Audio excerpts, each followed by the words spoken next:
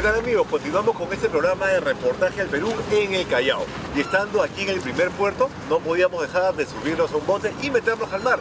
Y quizás también nos metamos al agua. Pero ahora nos vamos a conocer la isla San Lorenzo.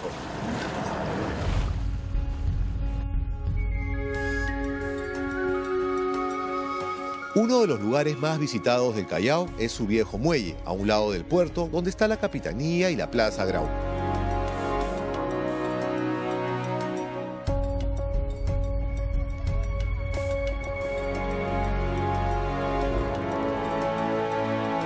El mar siempre llena todo de vida. Anímense a pescar y no se arrepentirán. Ese es el arte de la paciencia y el, el destresado de la persona. Por eso, como digo, la pesca es paciencia. Y ahí, lo- ahí está, ahí está, ahí está viniendo, ahí está. Ahí está porque lo viste, ahí ahí está.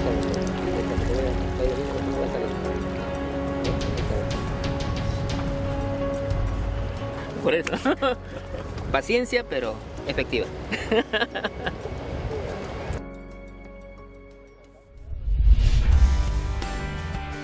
A diario de aquí salen botes de todo tamaño para hacer paseos, desde 30 minutos hasta de 4 horas hacia las islas. San Lorenzo, Palomino. Felicidad garantizada. ¡Pase, lancha, pase! ¡Pase, pase!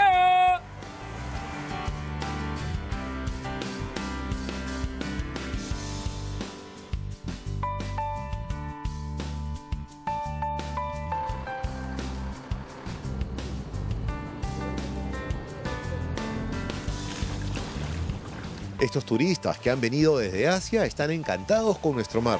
¡Qué pombleia! Ok.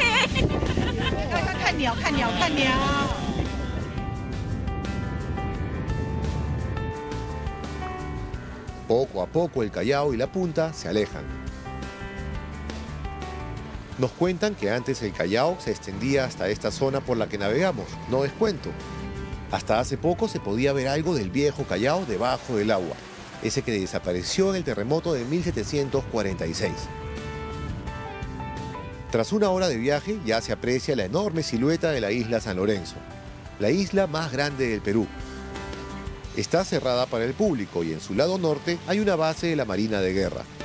Hacia el sur, en esa isla pequeña, está lo que quedó del penal El Frontón.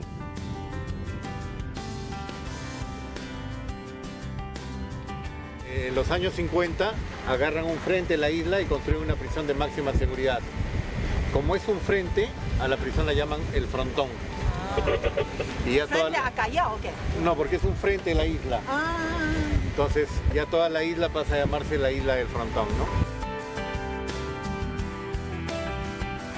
Ahora, la isla de Cabinzas a la vista.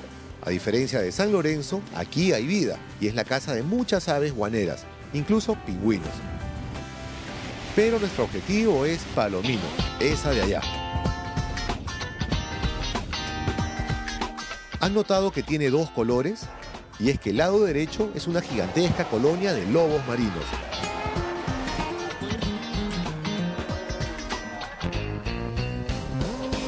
Mamíferos enormes y expertos nadadores, que fácil se comen 25 kilos de pescado al día. Un espectáculo hermoso.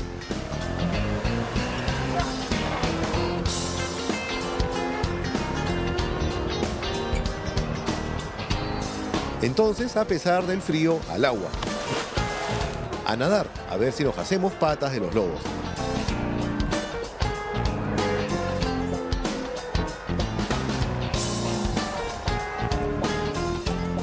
Listo, a comer pescado.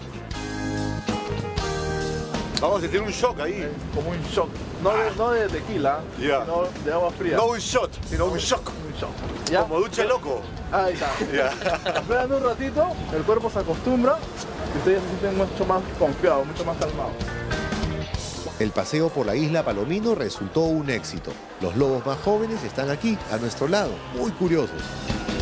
Obviamente quienes vienen aquí no los molestan ni asustan.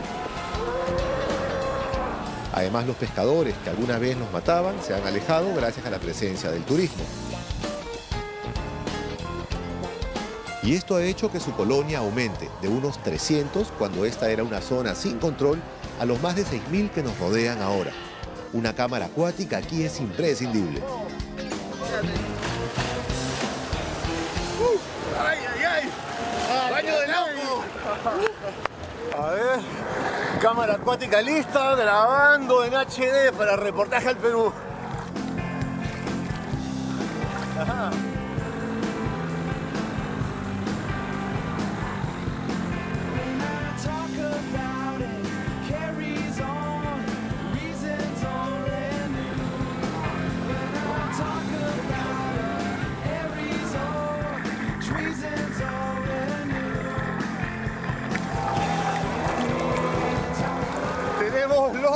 Nuestros pies ahorita.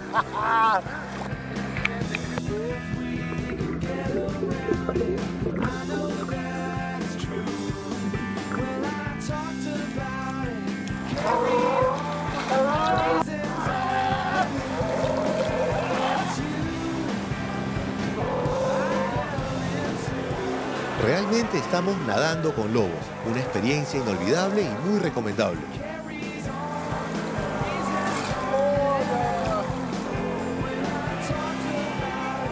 No saben la buena energía que transmiten tantos seres felices.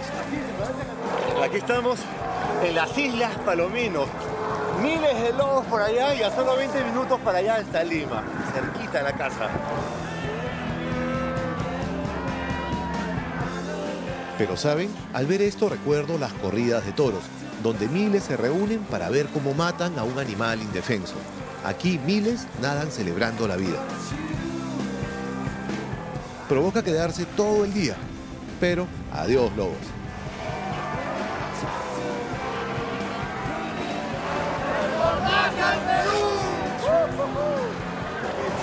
Ojalá todos tuvieran la oportunidad de hacerlo. Es increíble. Algo irrepetible. Veámoslos por última vez, son encantadores y son libres.